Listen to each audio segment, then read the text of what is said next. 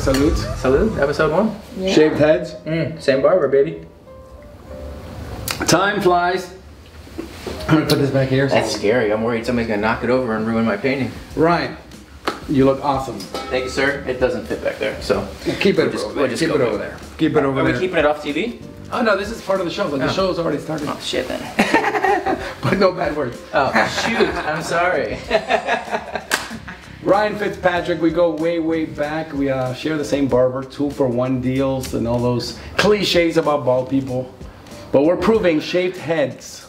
Do you like it when people touch your head? I hate it. I hate Because it. there's so many times people are like, "Oh, you're good luck, buddy," or whatever. I don't know. They do the thing, and I'm like, I don't come and touch your head just because you have whatever hair. I know. Why? why like strangers? Like, oh, good, you- whatever. You're at the bar, anywhere else. Like, oh, good luck. Like, I don't even know you, man. Why? Don't know you, don't touch me. Especially my And we're nice people, so you, you know you kind of feel bad even- saying like, especially my head. exactly. And also, how about like people make fun? Like you can't make fun of anybody who's obese. You can't make fun of somebody who's ugly. But they make fun of us follically challenged people all the time. We have feelings too, right? Or no? They've done studies that that, that, that say that um, I think there's a higher level of um, I think it's like a perceived authority or perceived power with the shaved head. Nice. Yeah, you remember when Cal Ripken Jr. and, and Jordan they started shaving their heads in like the early '90s. And guess what? We started losing our hair a little bit after that, but that kind It of became cool. us. Yeah. It became cool. It's it not was- like a superpower. Fortunately, we have good shaped heads. Yeah, we do. Because there's so many people that if they didn't have this, they would look ugly. Exactly. It would look really ugly. Let's talk painting because um, this is very special to me. Ryan, I gotta give you all the thanks. Quick note for all of you guys watching: Why, why did this come up? Why is he guest number one on the show? Um, COVID lockdown, we're all trapped, and I read a post that you put, and you said it's so important to challenge yourself. Um, you know, have visions, create in whatever field. Do you remember that post? How many people followed you? And tell us a little bit about that real quick, because that kind of, in a way, led to this. Yeah, I do remember. I remember the premise of the post. I don't remember what I specifically said on the post. But like you said, we were in COVID. We were locked down. Everybody was facing like crazy challenges uh, with their life being turned upside down. And in general, I'm always trying to, I don't know, push myself, try new things, expand, and I don't know, maybe I talk more than I do, but you know, I was like, you know, I'm gonna try to share a message with my friends, like, hey, the world's going crazy, but like, do something for us or do something for you. Um, as far as how many people, I, I got a, a lot of good feedback on that. It was interesting though. Some of the people, it was like a negative thing. I think some people, you either responded one or two ways. Like one, you were some, Up for the challenge, or you're like, why are you pushing me to do something? yeah, well, you're like, you're motivated. Okay, I'm down with this. I agree. Let's do it. Or it was like personal, like I can't. Or I don't know. Some people was like a kind of a backlash. Um, I don't know. It was it was interesting. Fast forward to COVID, your post, I draw, and my wife sees my first painting. She goes, "Wow, a four-year-old painted this. Sketch. This is so bad." Sketch, right? Yeah, and I felt kind of offended. And I saw your post. I'm like, you know what? Give me a year. And three days after that post, I said, I'm gonna picture myself with my room and my apartment covered in paintings. And you were the first painting other than my wife that I painted. I wanted to paint people that I looked up to and admired doing things they love. I saw the photo, and what did you name that photo? What did you say it was? It, it was. I think it was like um, happy place or, Ryan's happy place or, or along those lines, right? What was your mental thought when you were in that place taking that photo? Do you know where that was? No, tell tell, tell everybody. Uh, that was in Banff, Canada. Uh, it's a ski resort, maybe, I don't know, a couple hours from um, Calgary. And world class ski resort, amazing mountains, as you can see, just one of the most beautiful places I've ever skied. And I was there, uh, had some time off, went skiing, and just, I don't know, you know me with the mountains, the, the solitude of, I love to ski, but even not skiing, I do the, like in the, in the summertime, camping, hiking. In that place, it was, it's just, you go out there and it's hard to think about anything else. You're just like happy. I knew you from more than 12 years ago, and when we met, I said, he's gonna go far. Like, you, you can see people that have a vision. So I was certain you were gonna go far, and I kept in touch with you, and we kept being friends, and every time I saw you, it was never, hey, Pablo, look at my career. It was always a big smile on your face, traveling the world, doing things. And what I love about Ryan is he never brags about his career. We're to talk about that also. But he brags about time with his friends, time with his family, time with nature. And that's when I painted it. I'm like, yeah, that's a kid who fulfilled that inner dream to make it to the top of the mountain in life, in career, in friendships. So I present to you Ryan's happy place. Was I uh, onto something with what I painted? Yeah, I've yeah. I mean, I, have been blown away since you told me, um, you know, that I had a little bit of an influence on on your painting uh, endeavors. And I don't know, I, I think maybe we all do, yourself, everybody, you just, you kind of get caught up in life and, and maybe don't think of like the look back. And mm-hmm. like you said, the, the little kid, um, somebody asked me, I don't know, a while ago, you know, like what would, what would like 12 year old Ryan think of today, Ryan? I was like, that's a pretty good question. And I think, you know, like you said, you you all those things. Would he be but proud? I think so. I think he would be pretty pretty darn impressed. I've been uh, I've been pretty fortunate to see quite a few things and, and travel the world and, and you know, do a lot more than, than most people do. You know, fortunately work has afforded me to like traveling for work so much and but then you go do stuff like this and then you have those kind of isolated moments where you're like, wow, this is this is this you can't swear on this on the show, but this is like really cool.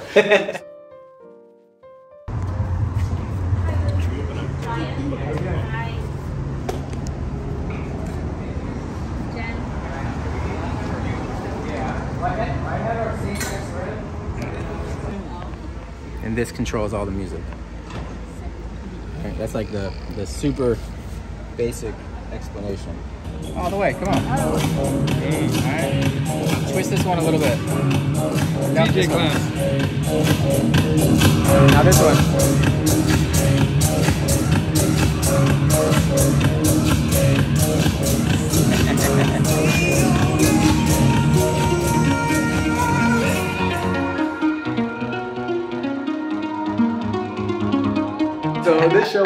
Speak positivity always yeah. and we speak having visions. And that's why you know i love you being the first on the show because i remember you're like pablo we have this groove cruise this festival but then after that i want to i want to tour the world with djs and then i want to do this. So quickly give us a recap of the last uh, the career of ryan fitzpatrick an amazing career which i think it's it happened before it happened because that was your vision you wanted to do it. Well it's interesting to hear your memory on it too because i think I don't know, like if you speak something into existence, um, that's a big thing. But I probably you have did, to put in the work. but I probably didn't know it was a thing too. I mean, like I, I, don't, I don't remember telling you those things. I'm sure I did. I probably told everybody I knew, hey, I want to go do these things. Um, yeah. So out of college, um, a guy that went to the same college I did, Jason, ran a music festival in Miami called Groove Cruise. Uh, I went to school for marketing and logistics. I was interested in the event space. I didn't really know. I didn't really know much about the music world. I mean, I knew music on the radio, but I didn't know how any of it worked. Took a job, moved to Miami randomly, and this guy was throwing music festivals on cruise ships. And you said, what a dream. Um, sign me up. We started chartering entire cruise ships, right? So that's, you know, two, I think the first one was like 2,200 people or, or something around there. And yeah. And you were how old there? You're like you're in your. Yeah, I was in early, my early twenties. Early twenties. Yeah. yeah, yeah, early twenties. Um, which is wild because same hairstyle though. We were rocking it since back then. Looks great. Same we barber. don't age. It's, we don't age, baby. I think. I mean, I look in the mirror sometimes and I go, Ugh, but. So let's fast forward. Shout out to Jason Buchema and the group. Yes. 20 years this year. Yeah, 20 years. Tiesto headlining. Gotta gotta give props, Jason. Yes. Yeah. It is a, a, a. I texted him the other day. I said, Hey man, this it's 20 years in the works. Um, and I was a part of a couple of them, so congrats to you guys. Cheers. Now, congrats to you. You moved on. You segued. Oh yeah, I started a management company. I got in, interested in in the other side. I was the guy that was booking all the artists, and I said, well, you know, I'm dealing with agents and managers and tour managers. I kind of want to know, or I want to be involved on the other side. Long story short, started working with some smaller DJs. They would have questions like, oh, hey Ryan, like, what do you think I should do? Or you know, it, it would be like you know, you asking a friend that works in television, hey, I, I got a, right. I got an offer for a thing. Like, what should I tell him? Do you have a contract I can use? Do I need a lawyer? Like, stuff like that. And so I would, would pass it on because they were my friends. And then I said, well, I should maybe do this as like a thing. So started manage started management company while I was with Groove Cruise. Started managing on the side, and then a couple years into that, I left Groove Cruise full in on my uh, artist management company, and that's what I've been doing since. So manager. I also I tour with the artists I manage. Can we name drop? Yeah, sure. Yeah, so I mean, the, the one that would be the most familiar would be named Darude. Um, for the non-dance world, everybody knows a song called Sandstorm.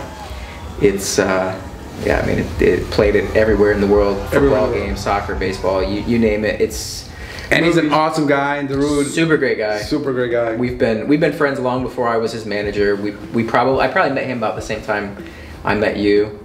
Um, and yeah, he and I we've I don't know, thousand shows, who knows how many countries. Uh, So if you guys want to follow all those shows, those trips, tell people where they can follow you because we're actually here. The Darude's performing tonight. Yeah. Where are we at Yeah, today? well, today we're- What are we gonna see? we're in uh, we're in Hollywood, LA. Uh, tonight we're playing at Avalon, but this isn't going to air tonight, so you'll have to go watch later, Later. clips after the fact. Uh, we come to LA like once a year normally. That's that's kind of the, the routine. Um, yeah, awesome. yeah.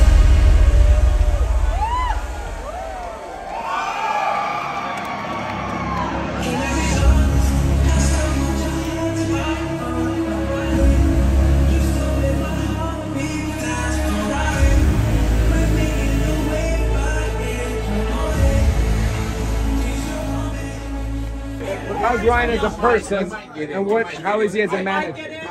Ryan, who? It's it's hard to uh, separate the two because uh, he's my friend and knows me probably too but too well. He's a very good organizer. You call him a manager, whatever has to do with logistics, organizing, managing. He's got it covered before you can finish your sentence. He can Be very firm and direct and demanding if need be, which is good. And yet, at the same time, so far he hasn't embarrassed me or gotten me in trouble. So I appreciate that. And as a person, He's stingy and sarcastic as fuck. and I like that. Uh, he's, he's very direct, which uh, I don't I don't like bullshit, and I like that. And uh, I don't know if if, if we uh, express any deep feelings towards each other, but uh, I kind of like I said I kind of feel it because we've been together for ten years.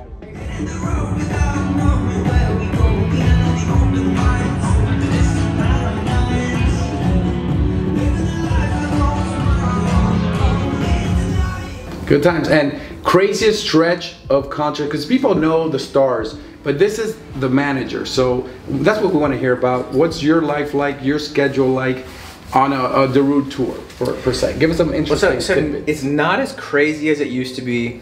Um, he's married with two kids, so he and very active husband and father. Nice. Wants to spend a lot of time at home. So instead of the traditional tour where it would be like pack my bags, see you in six months or something, he does a lot of like fly out for a week or two, fly home, fly out, fly home, fly out, fly home.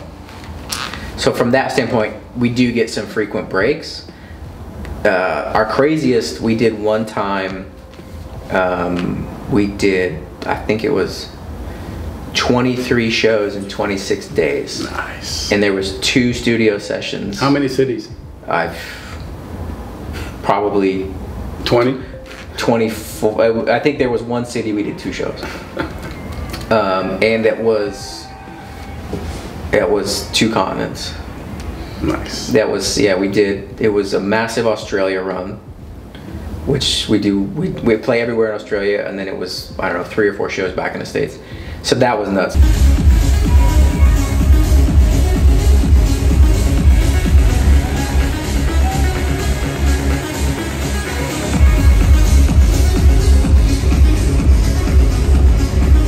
so this show is called Positivity Always with Pablo Alsina.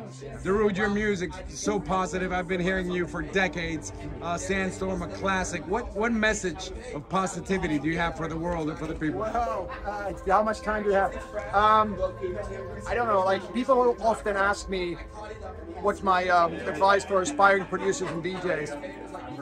and I don't know what kind of language you can use on, on your um, show, but I, I usually say, don't be a dick.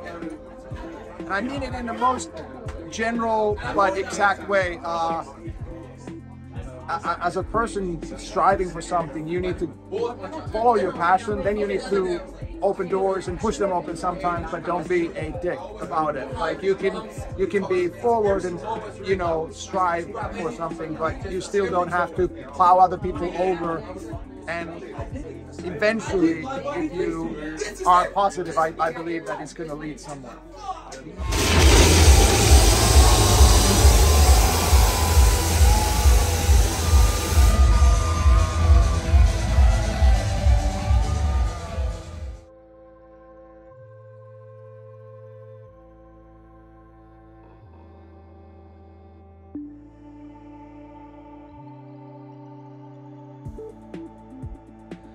So here is something uh, super cool. During COVID a couple years ago, I inspired my buddy Pablo to start painting and he painted a picture of me skiing based on a picture of me skiing. Uh, so I finally got it here in LA, which is where he lives. Um, finally was able to grab it from him and take it home. And how cool is that? Thanks, Pablo. Love you, brother. The word is positivity, always with Pablo Alsina. Ryan Fitzpatrick, this was awesome. I appreciate it. Man, I, I, are you going to keep it? Because if not, I'll keep it. It's hurting my heart to give, but I know you love it. This is a one of one. That's a one of this one. This is the first painting that anybody's ever made of me. Nice. To my knowledge. Nice. To my knowledge. So that's that's definitely coming home with me. Um, I have to say it's humbling and I don't I don't know I, I don't know the word. What's the word? Um, it makes me feel good to know that something that I've done without knowing had a positive chain effect or snowball effect on something. You know, I, I kind of, you live life and do what you do, and I don't live life thinking like I want to go impact Joe over there or whoever. And you know, you've been been very gracious on on, on sharing hmm.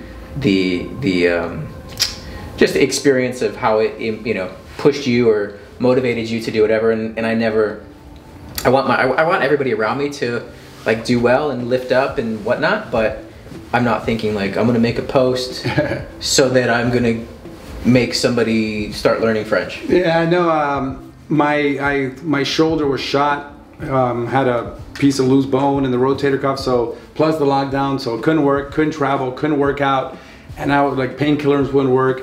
And uh, that post, and my wife buying me a painting kit. I was like, yeah, it was bad. And then I saw the post. And like, no, put in the work. I'm like, you know what? And then you, I texted you, did like a first sketch, and you're like, oh, that's not bad. Had you said that's trash, I probably stopped. Really? But since you liked it, I'm like, I'm gonna finish it. And then it just started painting itself, and then I couldn't feel the pain as much. How long did it take?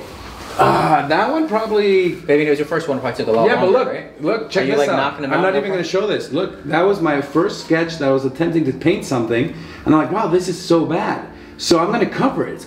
It's horrible. You guys don't even. So I'm going to cover it. So to cover it, I needed to have tons of paint. So I threw tons of paint. I'm like, oh man, I'm going to do a skiing thing. I'm like, oh wait a minute, Ryan's challenge. So then my error, my mistake led to me throwing a ton of paint, which led me thinking of snow, which led me to I'm gonna find the perfect painting, a perfect photo of Ryan to inspire me. And then I saw that, I'm like, oh man, I love it. And then the whole story behind it, I, you know, I told you, yeah, uh, which is just the the childhood heart in there, who made it to the top, and that's what I see in you and Ryan.